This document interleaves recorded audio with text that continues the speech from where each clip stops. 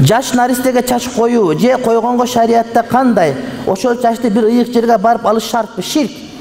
узун кылып өстүрүп коет билесиңер өрүп коет мазарга алып бул ширк динде жок күнөөкөр болосуң кудайым пайдалуу илим берсин анан барып беймаскап болуп кетип анан келип мен менен чабышып отура турган болбоң жерди карап бас көкүрөктөрдү карай бербей а бирок бир эле жолу өпкөн болсо бетинен өлдү болду калыңдын баардыгы калган болот а сен чийип койсоң кой муну галдир экен деп албай коет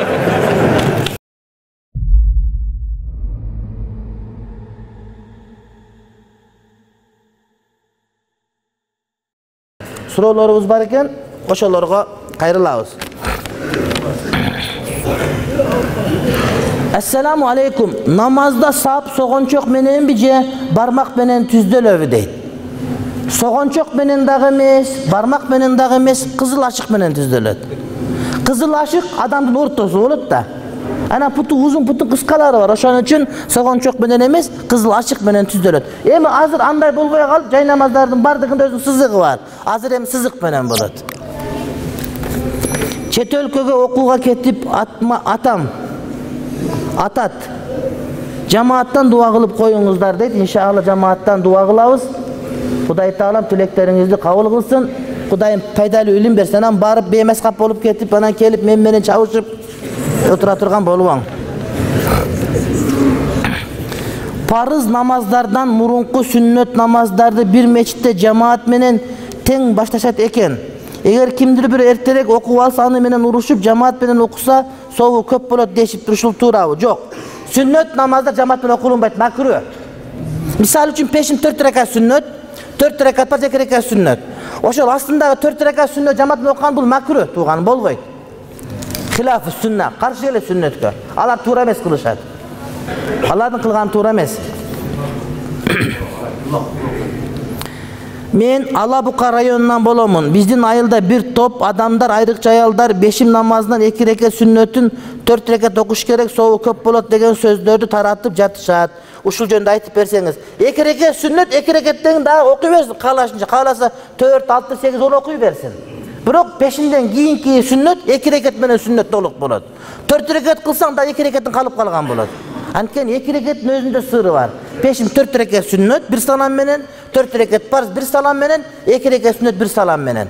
Эки рекет төрт рекет кылсаң дагы намазың болот нафил намаз. Бирок эки рекет сүннөттөн калып кеткен болосуң. Ошон үчүн эгерде окугуң келип жазбаң көтөрүлүп атса эки рекет сүннаттан кийин каалашынча окуй бер дагы наракка барып. Бирок эки рекет сүннөттү бузба. Мен бир китептен окудум витир важип намазын он бир рекетке чейин көбөйтүп окуса болобу болот кандай эки рекет эки рекет эки рекет эки рекет сегиз рекет акырында үч рекет демек витрге чейин нафил окуп алат деген сөз болот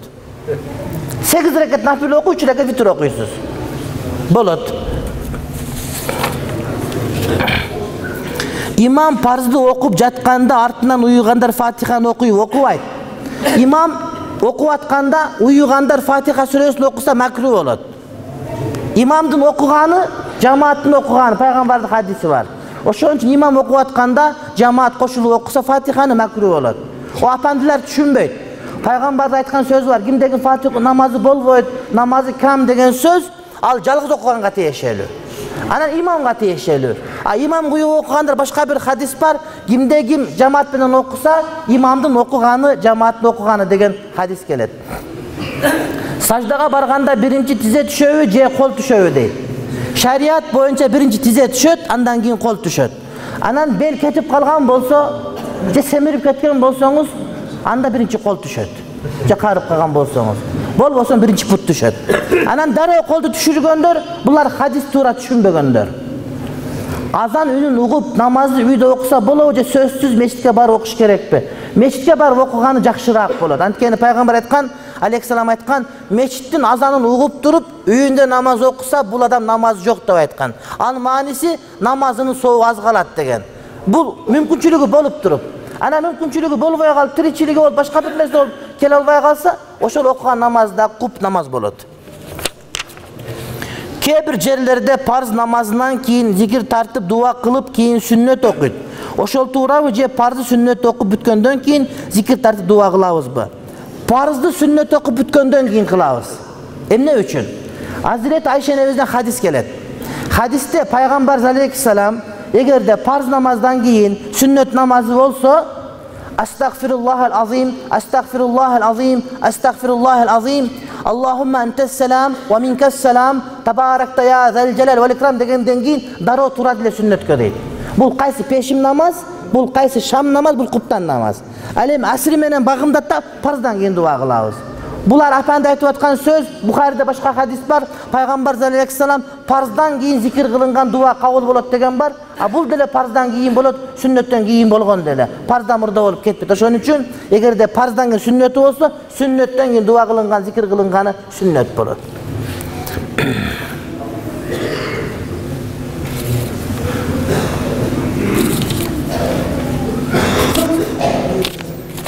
баардыгы дуба дуба дейт атам менен дагы дуба экен бул дагы. Күйөөсү аялына сен апама окшошсуң десе аялы талак түшүп калабы дейт. Талак түшүп кала турган жери бар түшпөй кала турган жери бар. Эгерде аялынын кылган эткенин мээримдүүлүгүн кылган тазалык иштерин үйдү кармаган тартиптерин апама окшошсуң десе бул жакшы эле сөз. Анан бирок аялынын жан башын апамдын жан башындай аялынын эмчегин апамдын эмчегиндей деп аял катары окшото турган болсо аны талак түшүп калыш коркунучу бар анткени бул апасынын эмчеги буга болбойт да жан башындагы буга кармаганга болбойт ошол сыяктуу апасына кандай арам болсо сен дагы мага ошондой арам болуп калдың деген сөз болот бул биздин орто азияда колдонулбайт бул маселе ошон үчүн колдонулбаган маселени бериштин дагы кереги жок ал ошо араб байларда бар бизде альхамдулилля мындай сөз жок ошон үчүн эл билбеген маселени айтып элге кыйын болуп көрүнүштүн эчем кереги жок бул зихар деген маселе о бизде жок альхамдулилля орто азияда на өзбекте на кыргызда на тажикте жок бул маселе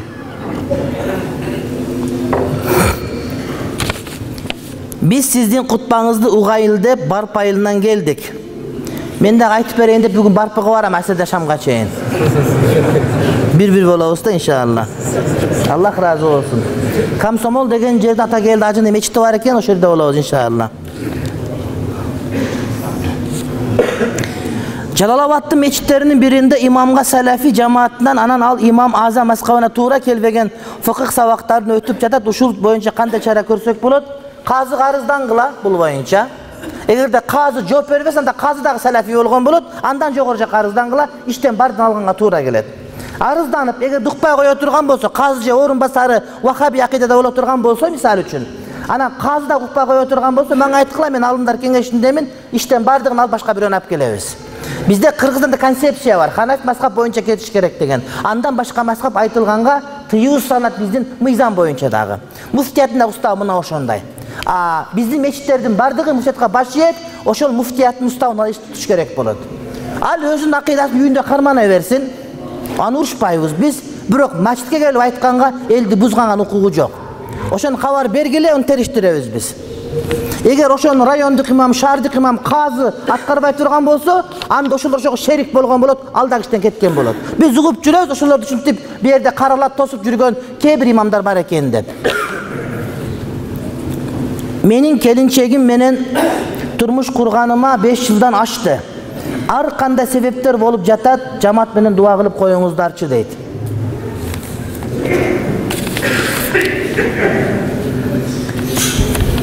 көз зынадан сактана албай жатам дуба кылыңыздар дейт сен сактана албай атам дуба кыл сен биринчи көзүңдү сакта өзүң үйлөн үйлөн биринчи анан өзүң карап эле сактана албай атам дуба кылыңыздар деп пайгамбарыбыз алейхисаламга бирөө келип айтты ey аллахтын элчиси мага дуба кылың деди мен жаннаттуу болуп кетейин деди дегенде айтты деди сен дейт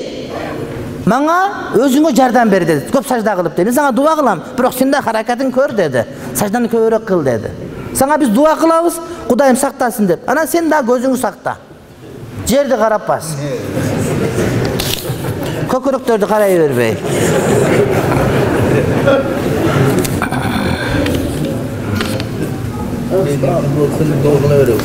жубан алсам макыр беремби же бербеймби ол макыр кыз болгон үчүн жубан болгон үчүн эмес сага эрге тийген үчүн берилет сага эрге тийген үчүн ал кыздыктын акысы эмес ал ал сага эрге тийген үчүн анын акысы болот берилет анан бир адамдар бар экен эрге тийди анан ажырашып кетти бир жумадан кийин мен сага отуз миң сом калың бергем калыңды бер экен жок бербейт сага никелештиби сени менен бир мүнөт жаттыбы бир төшөктө болду ал калың аныкы болду эгерде сен никелешип туруп бирок бир бөлмөгө кирбесең экөөңө парда түшүрүлбөсө ажырашып кетсең ондо калыңдын жарымын кайтарып берет нике кыйылды молдонун астында экөөнү бир бөлмөгө киргизген жок ажырашып кетишти ондо берген калың жарымын кайтарып берет эгерде калың бере элек бирок пучуп койгон отуз миң калың дедиби жатпай туруп ажырашып кетсе он беш миң берет ага никеге туруп берген үчүн а бирок бир эле жолу өпкөн болсо бетинен өлдү болду калыңдын баардыгы ондо калган болот. Мен цистит болуп көп ооруп атам анан доктурлар көп суу кармаба деди таямум кылып окусам болобу ооба көп сууга таарат алгандан сийгектей бере турган болсоң анда эмне ошондой кыласың таямум кыласың иншалла. Аялды үч жолу кет деп койсо үч талак түшкөн болобу дейт кет деген кандай мааниде айттың келип башың оорута берсе кет башымды оорутпа десең ал эчтеке эмес бирок ажыраштым болду сага талак түштү кет деген мааниде айтса кет деп анда бир талак түшөт кайра кайра айтса булар байын талак бири бирине жабышпайт баардыгы бир эле талак эсеп болот эгер ортосунда нике кыйылбаса жаш наристеге чач коюу же койгонго шариятта кандай ошол чачты бир ыйык жерге барып алыш шартпы ширк узун кылып өстүрүп коет билесиңер өрүп коет мазарга алып барат бул ширк динде жок күнөөкөр болосуң бүгүн биз барпыда комсомол айылда болобуз мурда намаз окуп дабатка чыгып дин жолунда жүрүп анан бир күнү спирт ичимдигин ичип алса мурдагы жакшамалдары күйүп кетеби күйүп кетпейт күнөө кылды тооба кылсын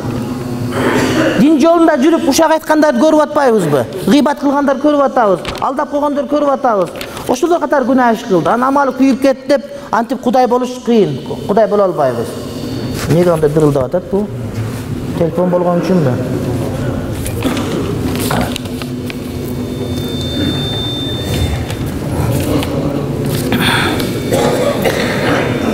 жаз кечүү деген айылдан келдик.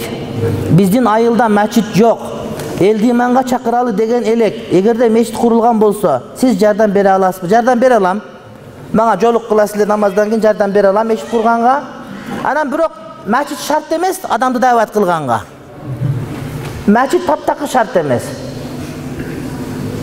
дарактын түбү жайында көлөкө болсо болбосо өзүңдүн үйүң аттын үстүндөгү тердигин коюп дабат кылсаң боло берет пайгамбарыбыз маккада мадинага келип мадинада мечит салды туура мечиттен баштады иштин баардыгын бирок мечит жок иш кылса болбойт деген сөз жок дабат кыла бергиле иншалла келе берет мачит болсо сага толуп берсе кийин сүйлөсөң жок ошо мачит курулганга эмгек кыл сен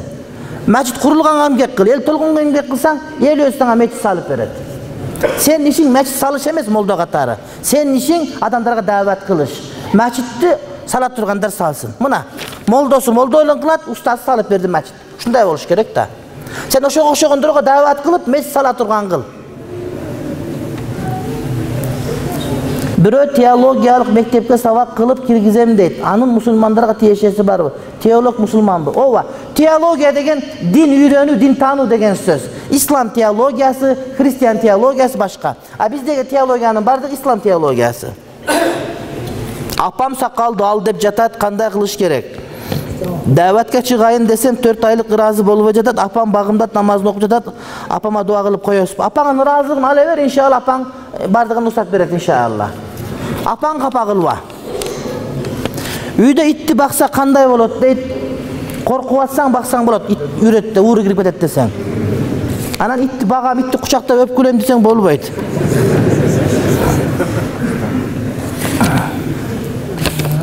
асырдан кийин каза окуса болот деген сөз асырдын мурдагы же ошол күнкү казаларын айтылабы же баардык казага айтылабы любой казага боло берет асир намаздан шам намазга чейин нафиле окулунбайт макүрө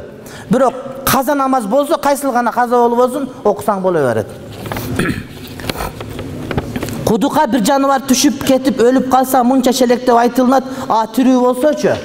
эгер тирүү болгон болсо денесинин нажасы жок болгон болсо жөн эле чыгарылып коюлат ушу менен эгерде күмөн кылбасаң айтышат. Челекте суу турса мисалы үчүн чычкан тирүү түшүп калса жөн эле чыгарып алып коесуң дейт бирок мышык кубалап келаткан болуп түшүп кеткен болсо мышыктан коркуп кетип сийи берген болушу мүмкүн анда майдын баарын төгөсүң деп айтышат да эми ошо билинип булганып калса деген. Эркектер алтын тиш салдырса болобу болбойт. Бирок алтындан башка салса оозуна жакпай сасып кетип аткан болсо анда болот. Бул маселе уккандан кийин ана маселе укканга чейин салдырып алган болсоң аны жулдуруш шарт эмес түшүп калса алып коесуң кийин башка саласың.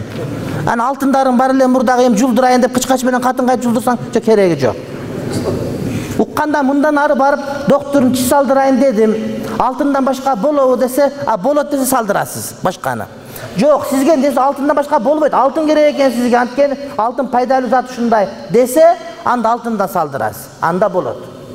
Алтындан тишти эгер зарылчылык салдырса болот а салынып калган тишти аны алдыруу бара болбойт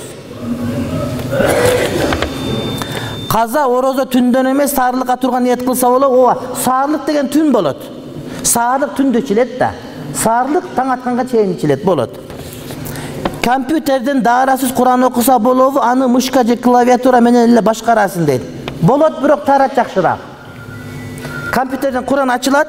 ошону мышка менен башкара бересиң жылдырып башкара бересиң аны кармабайсың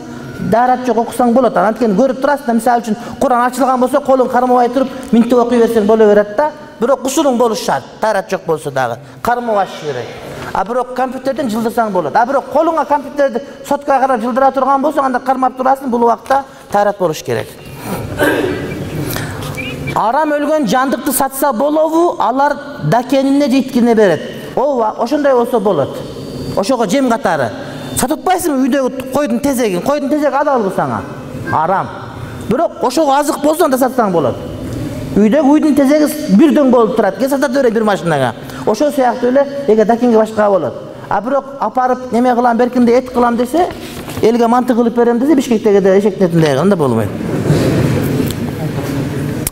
Мүрзөнү акыркы адам көмүлүп андан жыйырма беш отуз жылдан кийин кайра иштетип иштөөгө берилсе чири элек сөөктөрдү кайда алып барат өрттөйбү жок өрттөбөйт жаңы мазарга апарып баарын чогултуп көмүп коет жаңы мазарга апарып баарын чогултуп көмүп коет же ошол жерде кала берсин үстүнө иштете берсин данеге берсин а бирок казганда чыгып калса жаңы мазарга апарып көмүп коет биларман ордо оюну кумар болуп калбайбы себеби ага суроо берүүчү суроосуна акча кошуп жөнөтөт эгер суроонун жообун табышса ойногондор акчаны алып кетет эгер утулса акча суроо берүүчүгө мен билги үстүнө ушул жерге кошулуп кайтарылат мен билгенден депсиз демек толук билбейт окшойсуз мен деле толук билбейм толук билип жооп беребиз чет мамлекеттерде эптеп сызгылап эле ошону сүрөттөп кымбат баага сатышат биз да сызгылап эле сүрөттөп чет элге сатсак болобу жандыктын сүрөтүн эмес ооба